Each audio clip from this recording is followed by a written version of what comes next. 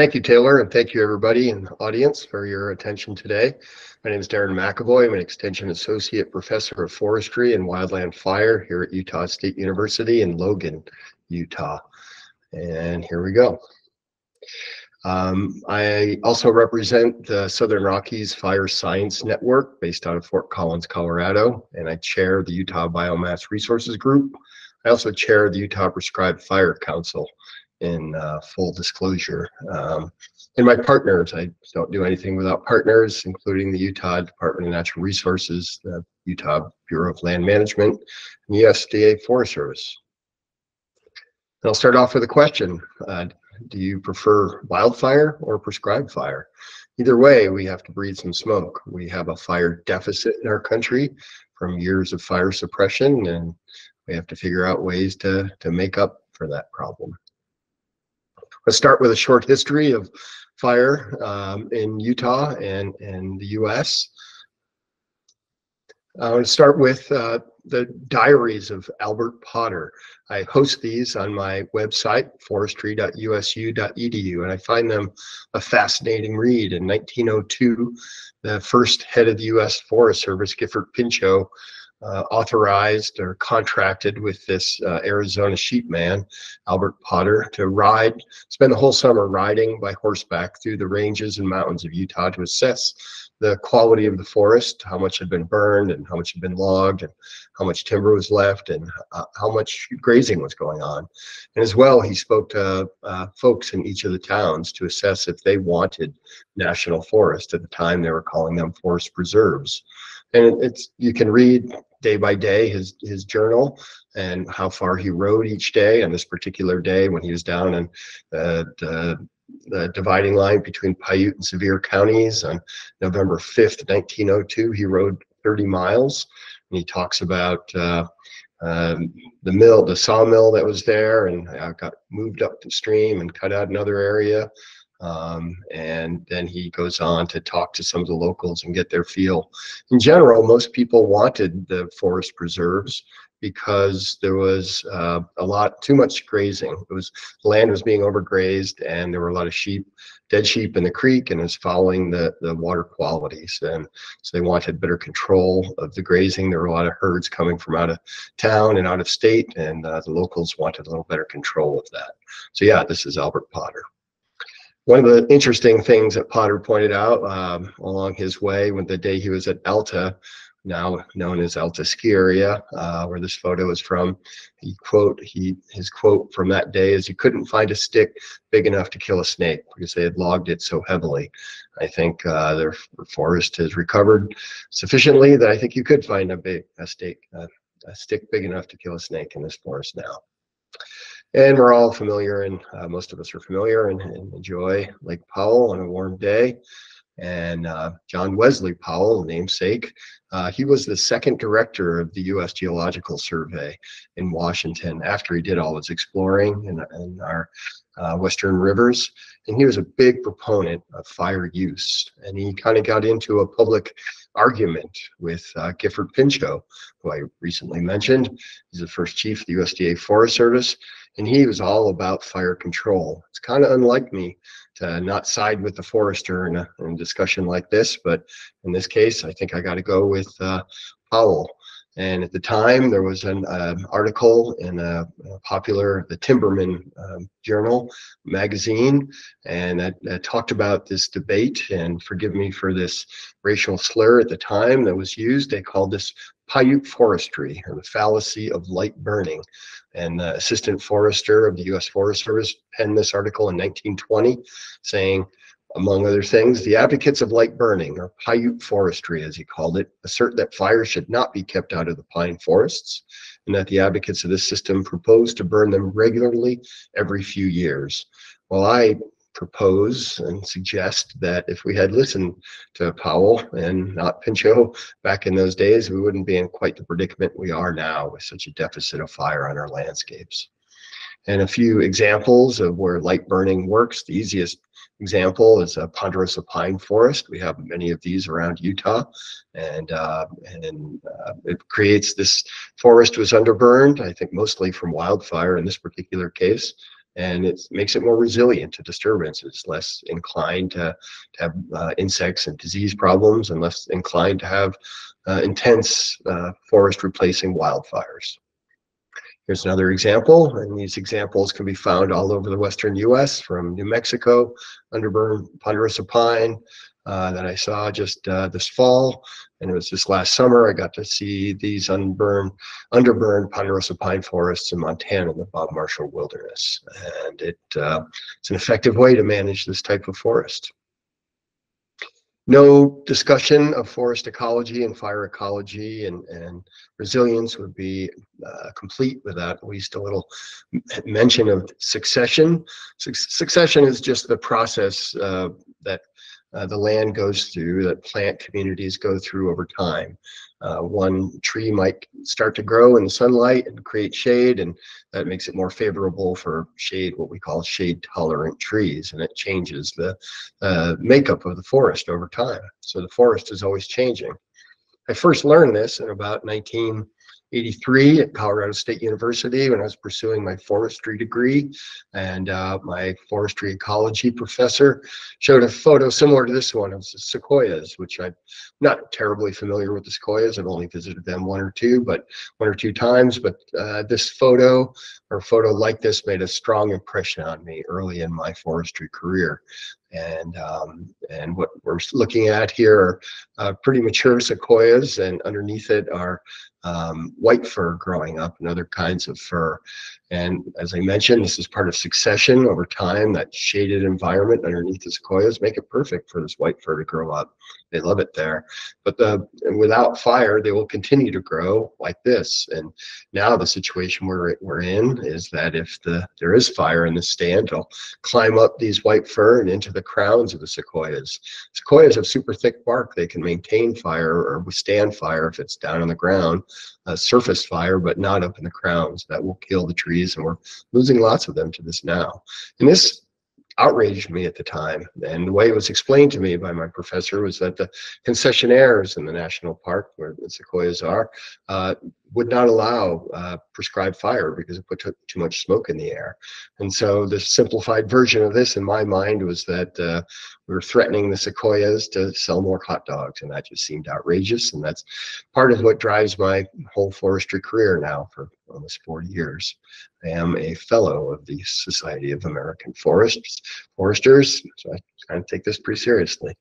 Um, and lots of examples of this around Utah. The simplest example, when we look out most of our windows, a lot of us can see juniper growing up in, in the grasslands. Um, and this is an example of succession over time, especially when we have a lot of grazing on these lands by livestock and by uh, wild ungulates.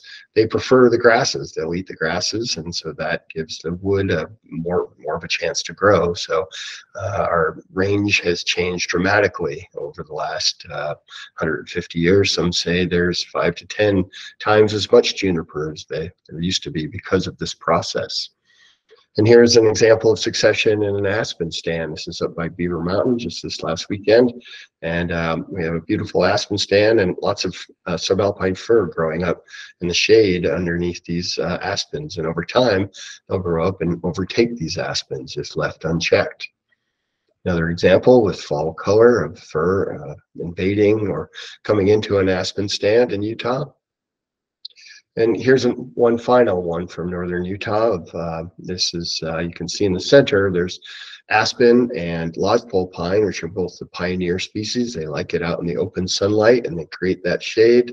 And then underneath we have all this fir coming in.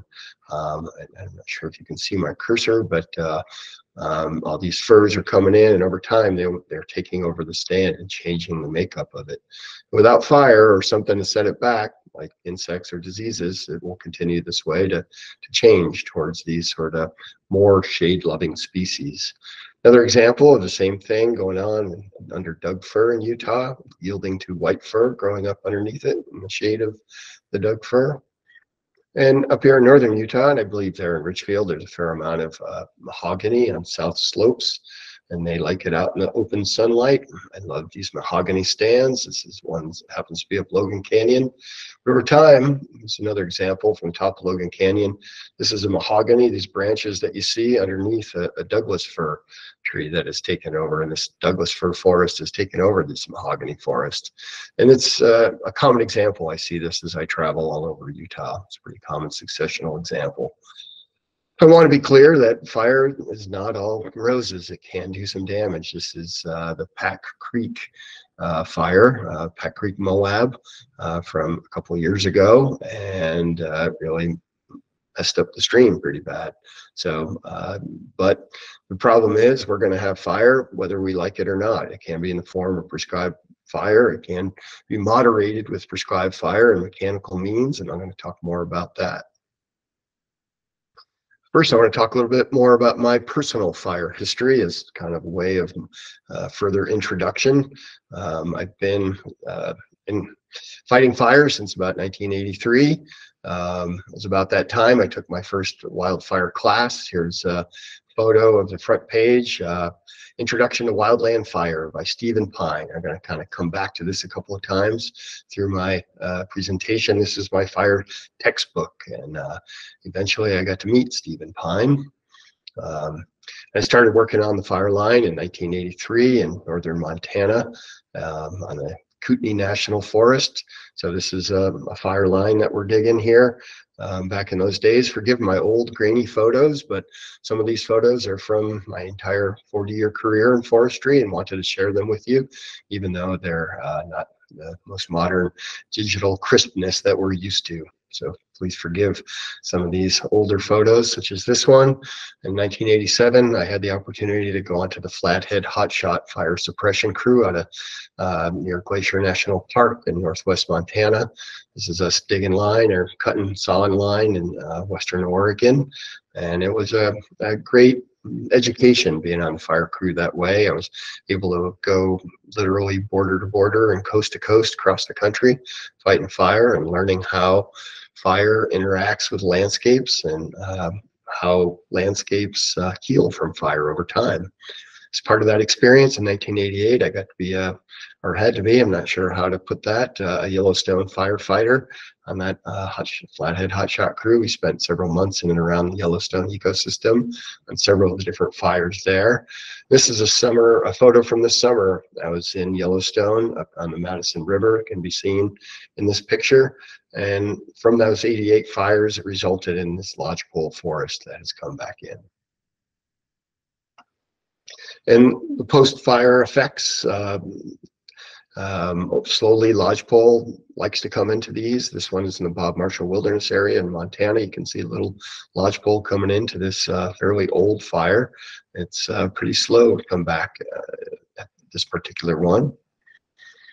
And um, by way of more personal history, in the 1990s, I was a contract firefighter uh, out of uh, northern Idaho, a town called Sandpoint, for a company called Inland Forest Management. And I ran lots of prescribed burns like this. I was an ignition boss and a prescribed fire specialist. And it really made an impression on me. And it became kind of one of my life's missions is to promote uh, more prescribed fire uh, in the forest. I just could see the importance of it everywhere that I worked in the forest. And along that lines, I uh, came here to Utah in 1999 to pursue my uh, graduate degree, and I produced uh, a video, this video called "The Missing Fires" for the for the National Park Service and got to go to every national park uh, with a fire program in the, in the country. And uh, as part of that, I got to go to uh, remember Stephen Pyne. This is a uh, this is just a screen grab from uh, that missing fires video that I produced.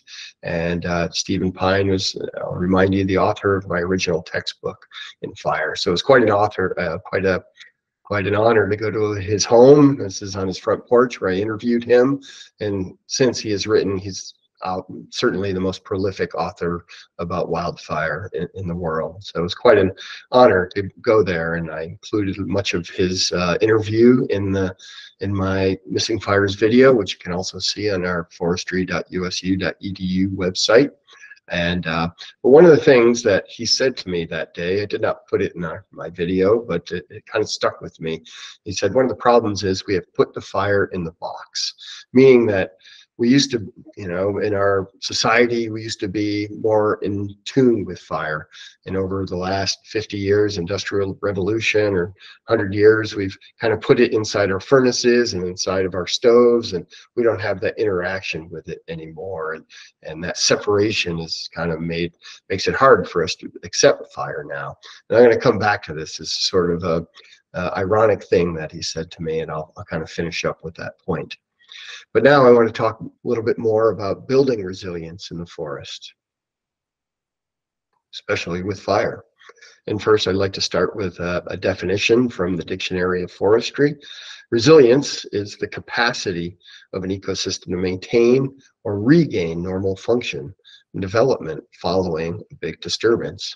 The disturbance we see here is uh, uh, bark beetles. This is spruce bark beetles here on the Wasatch Plateau perhaps uh, 10 years ago, and they were they had a significant impact on Utah. This is up on Wolf Creek Pass around 2002, close to when I started this position. And um, it's an Engelmann spruce stand, a pure Engelmann spruce stand. And the problem is it's all the same age, more or less, and it's all the same species. And that lack of diversity kind of creates a lack of resilience. And here's the same stand about 15 years later and uh, almost uh, pure mortality. There's a little bit of subalpine fir that's still surviving in the stand, but all the spruces succumbed to the spruce beetle over that time, demonstrating a lack of resilience. So my point tends to be, we like to say, as uh, forest managers, if we kind of got into these stands and did a little bit of harvesting and uh, broke up the continuity of the stand over time. Then we'd have young trees coming in where we had harvested.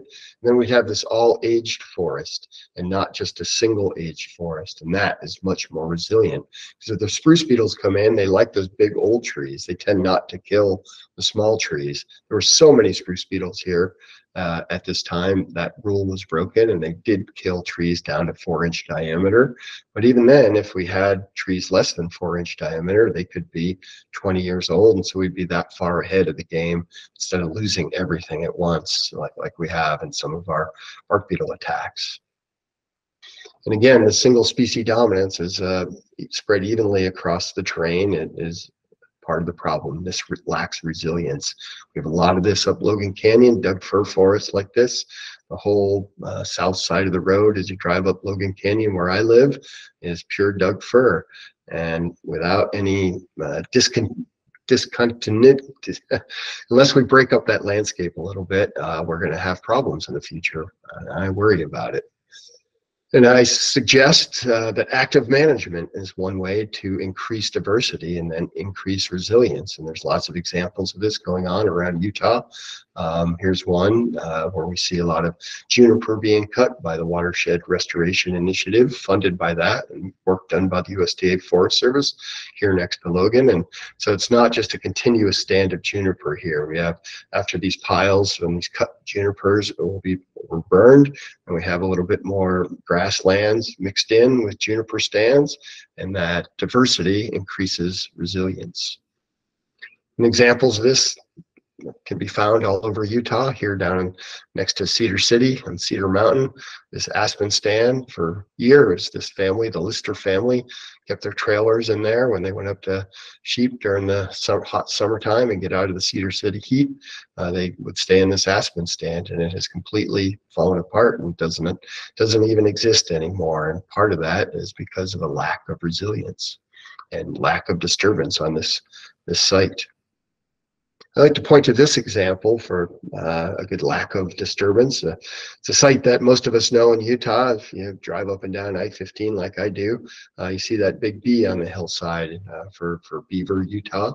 And it's just grown in all around that bee. If you visit the um, Historical Society there in Beaver, you can see photos of, of this bee when it was just open grown. And now it's all juniper and pinyon and completely closed in and, and a real wildfire threat. That. So again, if we could open up this landscape and change it a little bit, cut one portion, leave one portion, over time, that will make it more resilient. Excuse me. So treatments like this one, uh, this one's right along I-15 between Beaver and Cedar City, and it was done by the BLM about 10 or 15 years ago, closer to 10, I think. And uh, it opens up that juniper, kind of thins it out, and increases the diversity on the landscape of, of different sizes and ages of trees, and that increases the resilience, makes it more able to withstand uh, insects and diseases and fires.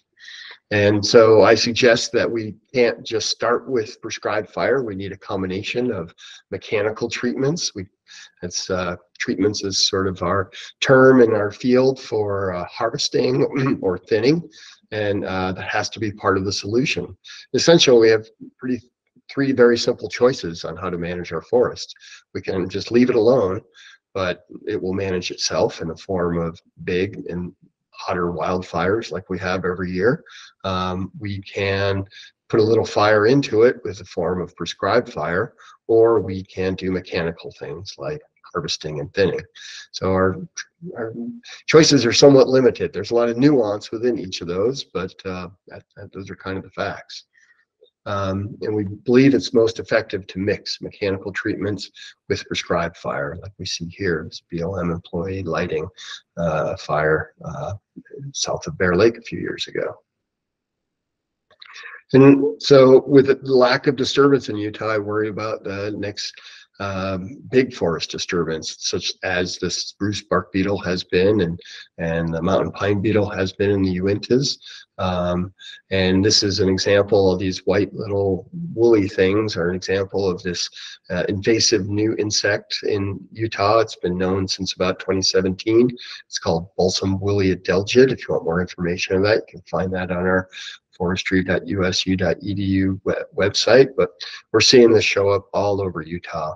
And in uh, on the Payette National Forest up around Boise, for example, about 70% of the spruce fir or the subalpine fir has succumbed to this, this insect. So it could be a pretty big threat. One thing, another thing we're trying to do in Utah, or at least experimenting with, is this uh, method of uh, roller felling. There was actually an article in the Salt Lake Tribune about it on Sunday, and uh, this company called, uh, formerly known as 106 Reforestation, and now they call themselves the Atlantis Foundation, has developed a system where between two large bulldozers, they have uh, a cable to this uh, a, a, roller ball, uh, and this was their original roller ball. They've uh, modified it since then, and there's several different iterations of it. But uh, it's something we're experimenting with here in Utah, and USU um, had the honor of doing a bunch of research associated with that that we're just uh, putting reports out for right now. And and as part of that report, my colleague Larissa Yocom and colleague uh, Justin DeRose have found that um, aspen, we've always wondered if aspen can be a good fire break. And we've always been had that experience as firefighters that it does, but uh, the research coming out of this um, uh, kind of provides some nuance to, to that. It's not just a black and white thing. And the national forests are, are doing lots of uh, mechanical treatments and followed by prescribed fire. The Fishlake National Forest is one of the leaders in this way, especially all the fire. The guys are getting on the ground down there. I think is a great thing. But there are some modern challenges with this that we didn't have to used to deal with early in my firefighting career. Um, the amount of wildfire and the amount of homes in the wildland urban interface WUI, some call it WUI, that has dramatically increased in the last 40 years. And that makes it so much harder to manage wildfires anymore. Some of my colleagues complain that we don't manage the forest, but we manage fires to protect homes. And, and so we need to perhaps find a better way to build our homes and to defend our homes uh, against these fires. And here's an old example, but I like to point out that um, uh, this is the Los Alamos fire, and I, I put my uh, my little text box box in the wrong spot I see now. But if you look behind it and around the text box, you can see that the needles are still on the ponderosa pines around these burned homes. Not so much so in the top of the photo across the street. With all the note, all the needles on the photos around that text box and, and behind it, um, what that tells us uh, as firefighters and um, inspectors that is that uh, wasn't the vegetation, wasn't the pine trees that carried the fire to these houses. It went house to house, and this sort of was a new thing in uh, in the last 20 years, and now we're seeing it more and more. It was a big deal in uh, the fires in Boulder last fall or two falls ago.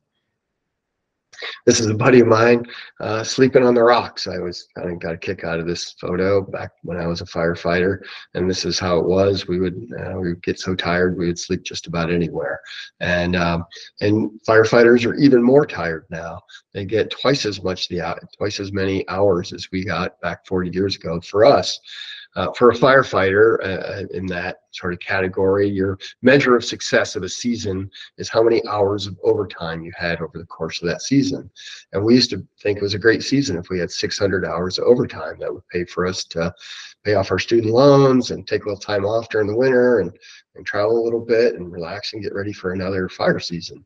But now the firefighters they're commonly getting twice as many hours of overtime 1200 more hours of overtime so it's uh, they're getting wore out and it's really kind of hard to, to find folks anymore to do this much work and one of our personal uh, local uh, responses to this here at USU Forestry Extension is um, is a try to find a way to reduce these hazardous fuels is what we call that extra wood in the woods uh, without uh, in a new way without just burning piles and prescribed fire and try to create this new tool that I call big box biochar kilns. I've had the good fortune of being able to develop this technology over the last five years with a series of grants from Utah State University. And uh, when I go back to that quote that I mentioned Stephen Pyne said one of the problems is that we're putting fire in the box and it's in, the, in stoves and furnaces and not just uh, we don't handle it anymore. And I find it a little ironic that my career has led me to this end where I most of my work, a lot of my work now is all about putting fire in these boxes, these large metal boxes. We use a mini excavator or other excavator to load the wood. Um, and then I'll go through the process with you. And we have a workshop on this coming up on April 19th in Tooele at the Tooele landfill, and we'll have three different kinds of kilns like this making biochar. And this is biochar that you see in, in the front of the photo. This is essentially charcoal made as a soil amendment. There is no other way to teach people how to sequester carbon in a durable fashion. We put this material into our soil. It has a thousand year half life. And so um, trees take the they photosynthesize, they take carbon dioxide out of the air, turn that into carbon in the form of wood. And through this process of burning this way in these kilns, we preserve about a third to a half of that carbon. Like I say, we put it in the soil and it's got a thousand year half life. So here's the process of doing that. Um, we load up one of our kilns. I this is the more popular kiln. I've uh, built uh, half a dozen of these now around the country. Um, we call it the BB12 big box. That's 12 foot long, six foot wide, and four foot tall. Weighs about 2,000 pounds. And I've scaled it down to this size so that uh, can be handled with a mini excavator. Doesn't need a great big excavator or a special trailer or anything. This one's double wall construction that, that helps protect the operators from heat from the heat and improves the heat distribution.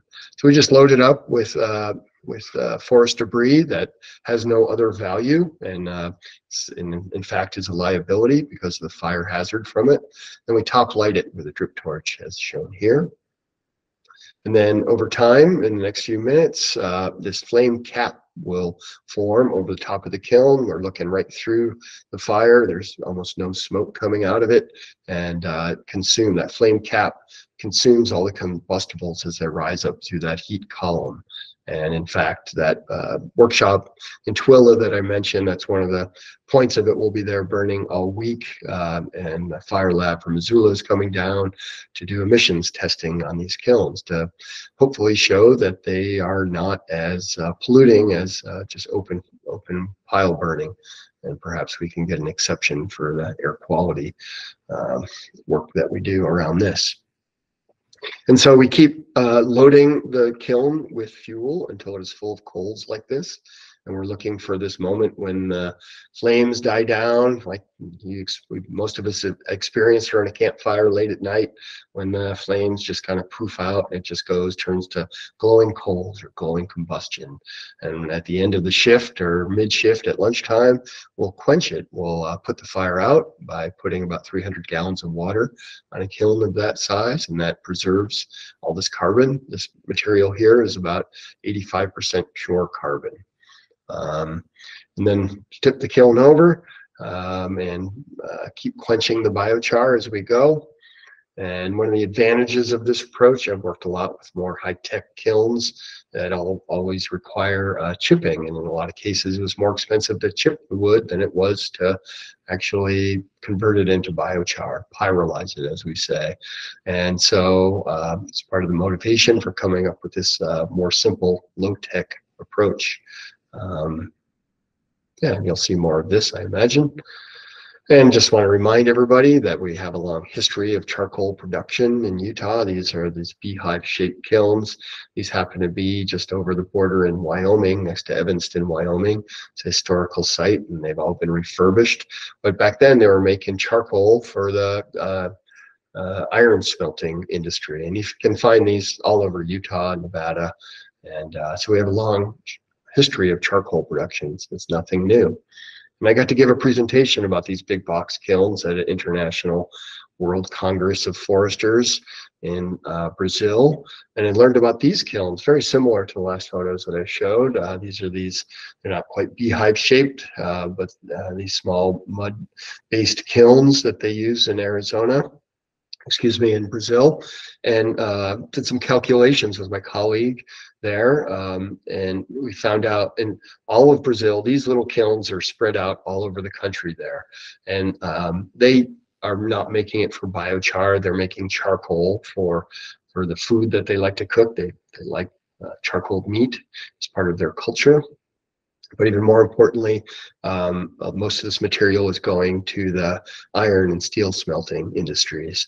But uh, as an example, and as a way to get a handle on the scale, perhaps, we found out that in one year in all of Brazil, they feed kilns like this, and there's many, many of them around the state, around the country, um, as much wood in one year goes into these kilns as exists in all of Arizona and all of California right now as hazardous fuel. So that's uh, all material that can feed a wildfire.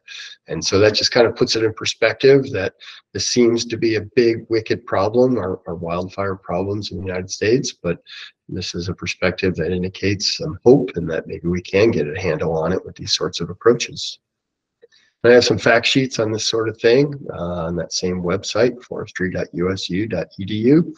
I like that the uh, uh, Joint Fire Sciences Program, the national program, sort of a cooperative thing between the different agencies, like the Forest Service and the Park Service and the BLM, and they wrote up our biochar kiln approach as a success story a couple of years ago. And this is my contact information. I'd be happy to talk to any of you. Uh, send me an email and give me a phone call. And uh, I'd love to carry on this conversation if you're interested.